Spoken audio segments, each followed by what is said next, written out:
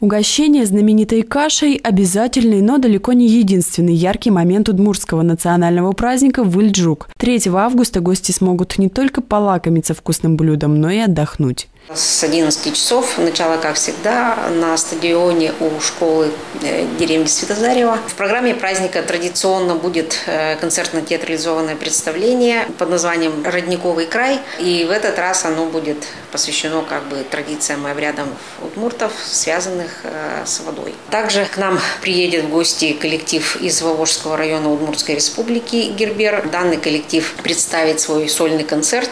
Ну и, конечно, традиционно традиционно будут выступать коллективы нашего района. Конечно же, пройдет обязательно а, батыр-шоу, которое пользуется, ну, скажем так, большим успехом. В общем, развлечения будут на любой вкус. Также планируется свободный микрофон. Выступить со своими концертными номерами смогут любые желающие артисты.